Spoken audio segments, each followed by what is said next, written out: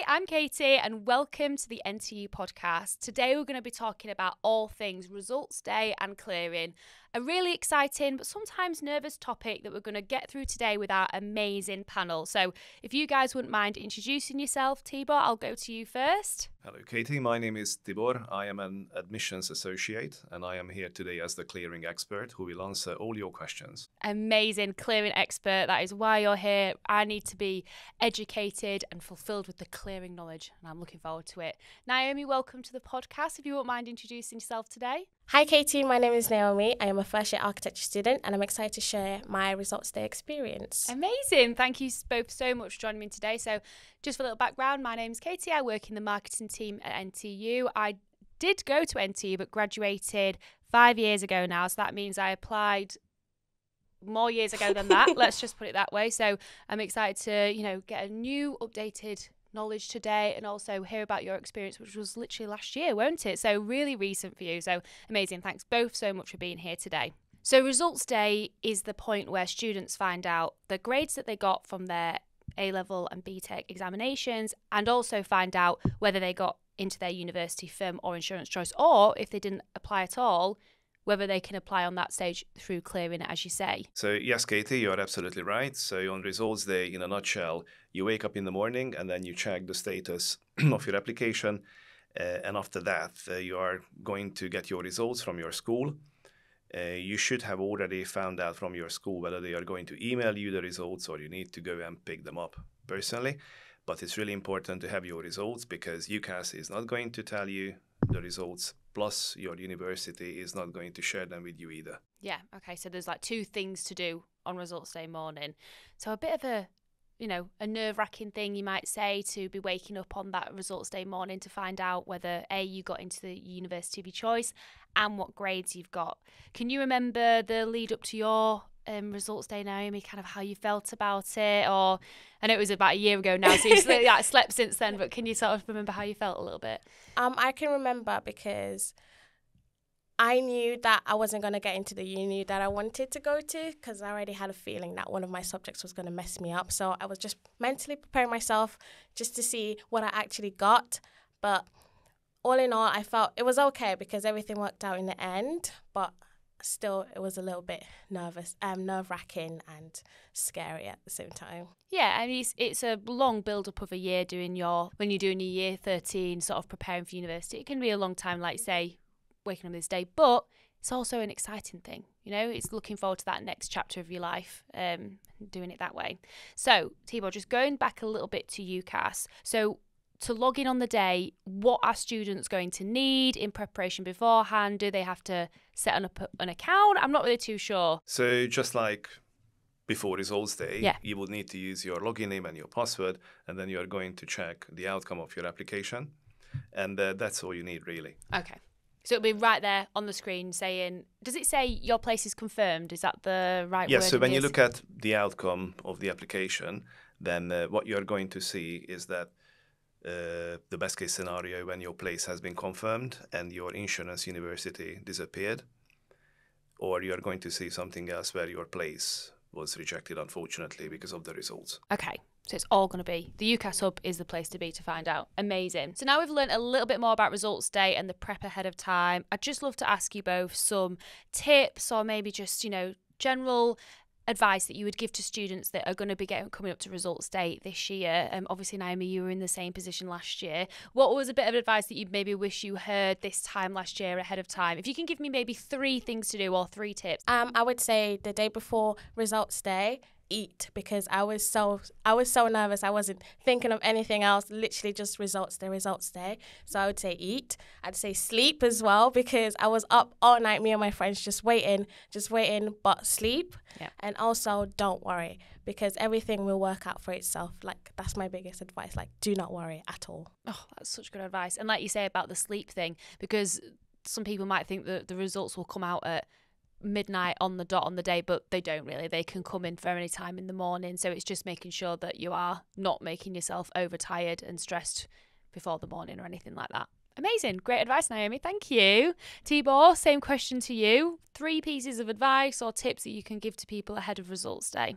Well, my top tip is to make sure that you make yourself available for the whole day because it's going to be a long day for everybody. Mm. And uh, even if things go well, you still need the full day to understand what's actually going to happen in the next couple of days, weeks, and months. Uh, my second tip would be to make sure that you have pen and paper handy because if you need to do some research, if you need to write down phone numbers, if you need to make a list of top three, five universities you want to contact, it's uh, always handy to have a little list. And uh, the third tip would be to make sure that you you are not going to stress because you're not the only one who is going through this process on that day, and the universities we are all there to help you and support you. Uh, we want you to find a place you really want to do from September. We want to help you to succeed with this, and that's why there is no question too small. We will be there for you. Results day, red and green flags. I want to hear them. Naomi, okay. what is your results day slash clearing red and green flags? Um, my results day slash clearing red flag is that people think it's a negative thing. It's actually not. It's another chance for you to get a better uni or a different uni. And my green flag would be when the university has amazing social media. As a social media officer, I'm very glad to hear that, Naomi. Thank you very much for shouting out our channels. Tibor, can I go to you? What are your red and green flags about results day and clearing? I would say my red flag is when the applicant uh, himself or herself is not making the phone call, it's somebody else on his or her behalf. And my green flag is when you call the clearing hotline with your results in your hand. So you have all the information we need, which will make the phone call very smooth. So we touched a little bit on clearing before with you, Tibor, when you were saying about the results day prep. So just want to dive into that a little bit more and talk about clearing for people who might not be sure what clearing is, might not be sure what they need to do for it, and also kind of how NTU can help in that sort of process. So, Tibor, if I won't mind coming to you first, could you just give a bit of a synopsis of what oh, synopsis? That is a very big word for, me today. a bit of a synopsis about what clearing is and who it might be for and everything like that, if you wouldn't mind. I know it's a bit of a big question. It's like saying how long's a piece of string, but Yes, but it's a very, very common question as well. Uh, clearing is uh, pretty much for everybody who is not happy with the outcome of their application. So on results day, you find out what happened to your firm and insurance applications. And uh, if you don't get the grades, then you need to go through clearing to find a place elsewhere. And uh, if you if you have the grades, but then you're not happy with the course anymore because you've changed your mind, bearing in mind that you might have chosen that particular course eight, nine, ten months ago. So you could have changed your mind, which is absolutely fine. Then you would need to go through clearing. And uh, clearing is is a lengthy process, but there is always enough support for you. So usually, you know, when you try to plan your next couple of days, it might feel really overwhelming, but it's a very, very simple and straightforward process to find your university and find the course you want to do. Amazing. So does clearing start on results day? Is that when the clearing process really uh, opens uh, up? If if you're waiting for your results because your results haven't been published, then yes, for you, clearing starts on results day. If you are on a gap year, like many of you at the moment, and you have your results already confirmed last year, then you can actually contact the university before results day. So, I wake up on results day and I have unexpectedly different to what I thought I was going to get. Let's say I got way higher. Let's just let's be really positive about my fake experience. So, what would I do? What would I ring you? Would I start the research first? How would you advise somebody to really approach that morning if they got unexpected results? So this happens quite often actually, Katie, when somebody wakes up in the morning and they get better grades than expected, which means that they can now look at courses they couldn't or they were not advised by the sixth form or the mm-hmm. college. And uh, the only way to find out whether they are available or they meet the entry criteria is to ring the university and then uh, somebody, a clearing agent, will answer the phone and then they will check the entry criteria together. They will also check if the course is available and then everything will be explained step by step. So the first step is is a phone call. So even if I wasn't sure what course I wanted to do, but I knew I wanted to come, let's use for this purpose sake Nottingham Trent University, could I just ring the number and be spoken through different courses available? Do I have to have one set thing in mind or how does that kind of work? Yes, absolutely. So you could ring the university and then you could explain uh, what subjects you did, what results you achieved, and then the clearing agent would explain what we could actually do for you, what courses are available. Certain courses require subject specific grades. Yes. And uh, because of that, we need to double check that because everybody must have those grades. And uh, after that, basically, if you have the grades and you are interested in the course, then uh, you can reserve your place. Amazing. And that's for all matters, really. You reserve it as soon as you can. So, Naomi, as we've been talking about Results Day, if you wouldn't mind just sharing a little bit about your experience on how Results Day went for you and how you sort of went to become an NTU. Um, so Katie, for my results day, it was a little bit, as I said, nerve wracking as one would be. I got my results. I went into school. I already had the email, but I didn't want to check the email because I was like, I want to, I want to open the paper. I want to open the paper. So I got it, and I was like, oh, okay. It was, it was a little bit expected. I did A level art, um, fine arts, photography, and maths. Wow. Yeah. they are some subjects. they are some really big, yeah, big subjects. I knew what I wanted to do. I knew the course I wanted to do. I knew I wanted to do architecture. And when I was researching about the unis, they said, oh, do a maths or physics and art and anything else. So I just chose those three. It felt like a perfect mix. Um, so I got my results. I was like, oh, okay. I already watched a bunch of TikToks telling me what to do for um, results day. I had my pen, I had my paper, and I had um, a couple of unis that I wanted to call. But first, I called the unis I already applied to to see, oh, do you have by any chance? But I didn't get a response. And um, a couple weeks before results day, on my TikTok it's just NTU, NTU, NTU. So I was like, I might as well, I might as well give you guys a try. And I called, and the lady was super nice. I told her my grades, I told her what I wanted to do, and she's like, Oh yeah, perfect. And then she um, transferred me to the architecture head of architecture. We did like a little interview. Basically saying, "Oh, tell me about yourself. Like, why do you want to do architecture?" They sent me the email, and I was like, "Oh, literally. and then all I had to do was just everything else, which was easy peasy. Yeah, the stuff after that. Yeah. Oh, that's amazing. So even though, like you say, it kind of was an re- interview on the results day, it was really informal and Yeah. relaxed and just helped you be really at ease with it. And Mhm. oh, amazing. Well, that's really good.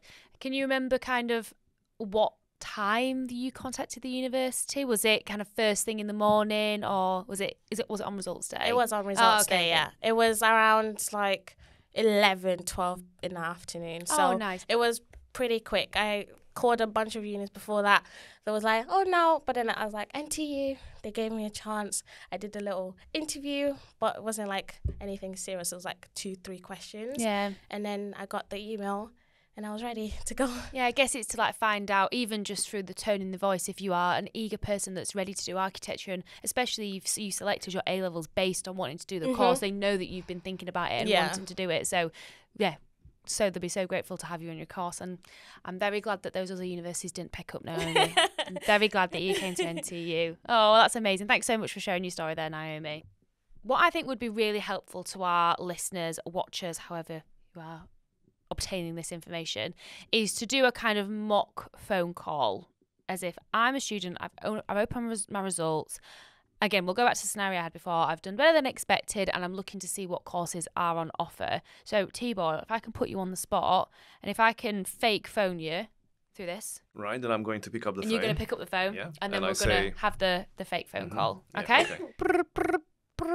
Hello, you are through to the Nottingham Trent University Clearing Hotline. My name is Tibor. How can I help you? Hi there, my name's Katie. I opened my results today and I managed to get an AAA, and I would be interested to know what courses I could do around the fashion and business industry. They're the ones that I'm really interested in. Would you be able to just run through any courses that you have or let me know what I need to do? Uh, that's amazing, Katie. Congratulations. Yes, certainly. So I just need to take a couple of details from you Okay. because I need to create this uh, on screen form, and after that, I can help you with your course choice. So, first of all, I need your personal details, such as your first name, surname, uh, email address, and uh, phone number. I have given you that information. Yes. thank you you. very much. if you're interested in something fashion where you do business as well, for example, we have fashion management, we have fashion marketing and branding, which is again some sort of business like fashion, These sound amazing. These and sound the exactly fashion looking for. communication and promotion. Uh, if you want me to check the entry criteria, then please let me know which one you prefer, and then I'm going to read it out for you. I would love to go for fashion management if that's okay. That sounds exactly what I was into and similar to other courses that I applied for at other Okay. universities. So, so I can see fashion management is available, and uh, I can tell you that we are looking for uh, four qualifications, where two of them have to be A levels or equivalent qualifications, and altogether we are looking for 96 UCAS tariff points. For example, this is just an example. And have I do I meet that? Yes, In this fake scenario? because you have actually achieved more than Yay! what you expected. You you do you do meet the criteria. So I can just uh, finalize the form, type up your address, phone number, uh, everything else we need, and then send you an email to confirm that this conversation took place and uh, that we have reserved a place for you. So that will be the next step. Amazing. I'm so excited to come to NTU. Thank you we so are much, very happy Tibor. to have you. An email will be sent to your inbox very soon. And uh, yeah, please allow us uh, a few minutes, and uh, instructions will be emailed to you. So thank you. Amazing. Thank you so much, Mm-hmm. Tibor. Have a lovely rest of your day. Thank you so much. Bye. So thanks again, Tibor, for just doing that phone call with us. It just gives everyone a little bit more, you know, understanding of what it might be like on results day. So with the phone calls, obviously we have so many amazing um, call takers.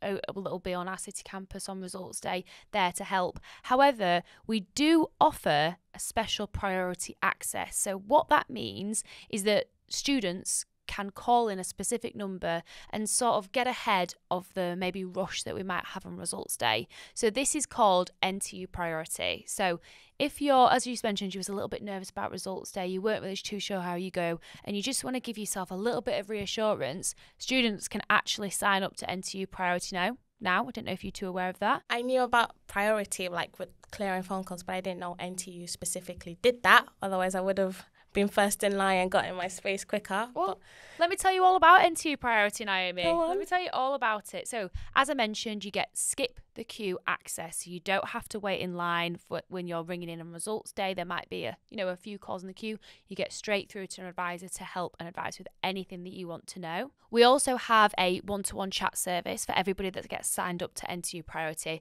where you can speak to all of our advisors, you know, straight away through this specific service to ask any questions, anything about the university, and maybe just some general tips and advice before the the results day itself. With signing up to NTU Priority, you also gain access to regular email updates. So maybe if there's any changes into the, you know, how results day is going to work, the specific timings of it, maybe even it's ju- if it's just the number or specific courses, you will get that information straight to your email address when you sign up to NTU Priority. Another great part of NTU Priority is if that you already have a really strong idea that you want to come to Nottingham Trent University, you can actually reserve a place pre clearing and pre-results day. So that if it comes around to results day and you still want to you know come to NTU through clearing that space is already reserved for you which is just such a you know relief takes the pressure off or anything like that. You can do it ahead of time. And yeah NTU priority is open to anybody who is interested and you can find out more on our website.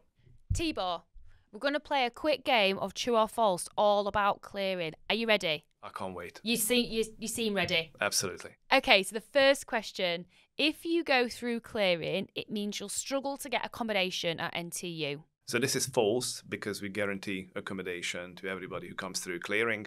So no stress whatsoever. We do. It's an amazing offer. Takes that pressure off people. There will be accommodation here for you, NTU. Amazing. So the second one NTU Priority is a way to gain skip the call access on results day. Yes, this is true because this is one of the perks of NTU priority. Whatever your results on results day, clearing is for everybody. Yes, this is true. If you want to go through clearing, then we are here for you. Amazing. Thank you. You got three out of three. Well done. Thank you. So we've spoken a little bit about when people call on results day, how that phone call will look. But then really it's about where you want to accept the offer for, like what goes into making that decision of where you actually want to start university in September. So what would your advice be to somebody who's called up clearing some universities on clearing results day, got a few offers from different places and now just isn't too sure where they want to apply to? What would be your advice to somebody who comes to you with that question? So my advice would be to do a little research before you accept the offer. It's it's a big decision. Uh, you are going to spend the next uh, three, four, maybe even five years at that university, and uh, what I would do is to double check things like how easy it is to get there, uh, how expensive accommodation is. Yeah. Uh, you can also check uh, what the student experience rating there is. Uh, Nottingham is a student city. This city is empty without students, and this is the best student experience city you can have for yourself. That's my my personal advice. So look at how far it is, look at how expensive it is, and look at the city vibe as well that comes with it. Great advice. Thanks, Tibor. So Naomi, obviously, that advice that Tibor's just given, you had to take yeah. in for yourself last year and have to have a think about it. So what was it for you that once you got that offer from NTU, you were like, I'm going there. That's the place for me. Um, because I live in Birmingham, I was like, I wanted to be far away, but not too far. And NTU to Birmingham is like a good enough distance yeah. for me because like I don't want to be too close home, but then I don't want to be too far. So I was like, okay, that's a check for me. Um, also I was researching on the course modules and like the different like helps and like course leaders and ev- literally everything any videos i can find on tiktok about architecture in the university i was just like okay this is good this is good actually when i got my place confirmed um the like student mentors for architecture were calling up first years like oh hi just calling. If you have any questions. I was like oh what laptop do you need? Like what do i need to buy? What everything? So they just call you like a couple of weeks before you moved in just to see if you had any questions about the course which was nice. Oh that's really nice. Yeah. oh how helpful. It was because i was like what laptop do i need to get? It was like actually you don't actually need to know within the first couple of months that you can get it just before december and you'll be fine. Because i didn't have a laptop for architecture and it was important. Mm. But he assured me was like, it's okay. You could use the libraries, you can use the one literally anywhere else, but you don't need like a personal one just in the like first month of uni, yeah. which was nice. And he, I was like, what do I need to buy for architecture? He was like, oh, you're gonna get sent an email list of what you need.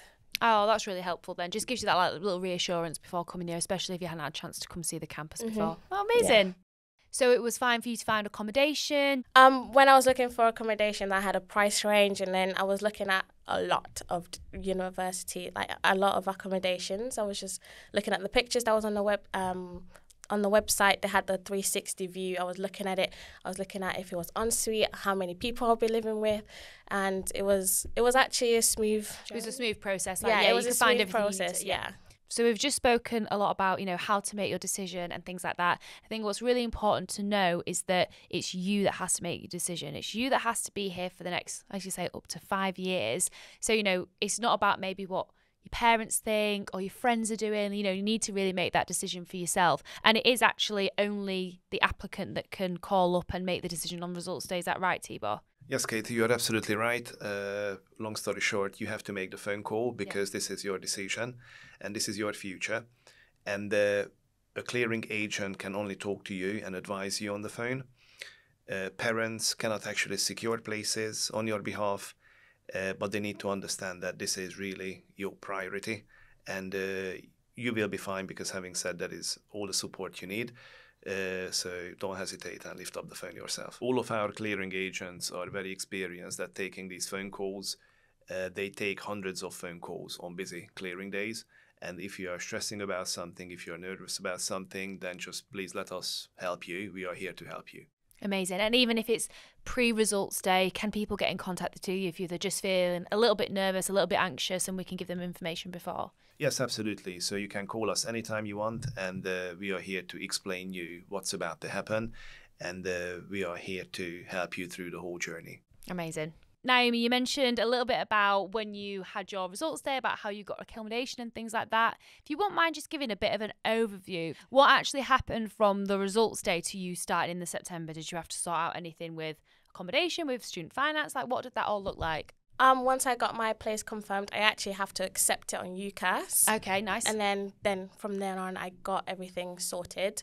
And then my student finance as well. I had to let student finance know that I wasn't going to the uni I put there. I was going to Nottingham Trent, and then they had to wait till the uni actually confirmed my ah, place right, as okay. well. And then I had to wait till the end of September ish to get the money start coming in every three months and then I got started on my uni shopping and like accommodations, trying to find my um, flatmates, course mates, all on Facebook and TikTok, scavenging around on tic- um, Instagram, just trying to find anybody. Honestly, from when you accept your place on NTU, it's just happiness from there on out. You literally have nothing else to worry about because everything just starts working out each next to each other. Amazing. So the main things you said is make sure you've told student finance that you've changed your course, otherwise Yes. you might not get your money in time. To ensure you pick your accommodation and make sure everything Mhm. about it and start looking for people. Is there anything else that the students need to give to NTU after they have got their place for clearing before they start in the September? Yes, so when you make the phone call, then uh, basically you reserve a place, and everything you tell us on the phone, uh, we take your word for it, and then we register that on our system. So grades, but then uh, everything exactly, like that. Yep. but after that, uh, you would need to send us evidence of your final results. So this is really important to make sure that you send us final results because they are the official results, and this is what you get on results day. And uh, I'm sure you remember I mentioned that on results day, you need to make sure that you get your results from your sixth form or college. So Naomi, why should NTU be the university that students call on results day? Um, NTU should be the uni that students call on results day because through the videos and TikToks I've been seeing, it was it was given a lot of energy. Like, you know, some unis just like, oh, like what's going on? But NTU, there was a lot of energy, a lot of vibrancy, just a lot of happiness, a lot of good community.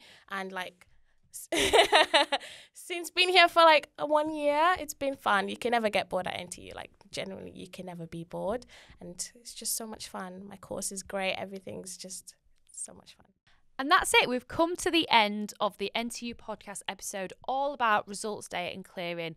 I mean, I've definitely learnt something today. It's been really eye opening to see kind of how the results day process works. And Naomi, it's been great to hear about your story and kind of how you came to NTU. And we're so glad that you made that decision. So, yeah, thank you both so much for joining me today. And I will see you next time on the NTU podcast. Bye. Bye.